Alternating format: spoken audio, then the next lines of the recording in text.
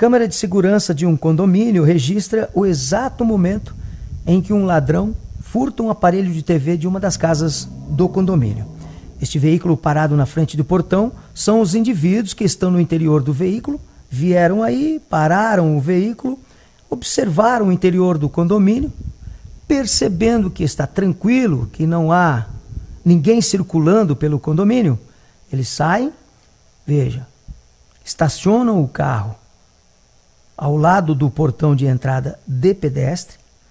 Um dos indivíduos desembarca, vai até o portão, observa, faz menção de tocar a campainha, mas não toca não. Aí ele volta, abre o portão e entra no condomínio.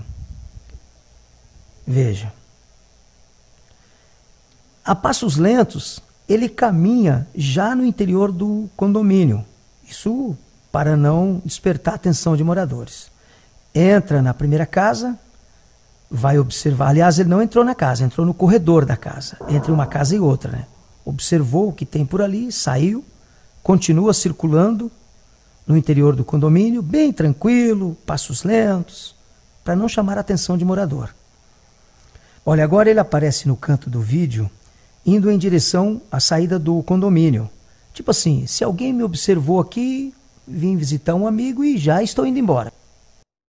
Mas ele não vai. Olha para trás, observa, dá meia volta e agora ele vai dar o bote na primeira residência. Ele entra pelo corredor desta primeira residência, a qual ele já observou é, se tinha janela aberta, porta. E na sequência ele já vai sair com um aparelho de TV pelo outro corredor. Olha lá. Veja, vai em direção ao portão, o comparsa já está aguardando por ali, vai receber o aparelho de TV. Olha lá o comparsa. Saiu de dentro do veículo, tranquilo, como se fosse um comprador ali da, do aparelho de TV, né? Eles conversam no portão, tudo para disfarçar.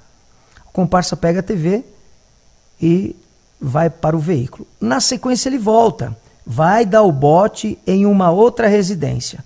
Só que uma moradora da residência percebeu o indivíduo tentando entrar na, em sua residência. Ela grita, ele corre, mas já levaram aí pelo menos uma TV, né? Este furto aconteceu na data de ontem, 31 de março, em um condomínio na cidade de Araucária. A ação dos ladrões está sendo investigado pela Delegacia da Polícia Civil de Araucária com a ajuda de câmera de segurança do condomínio e vizinhos.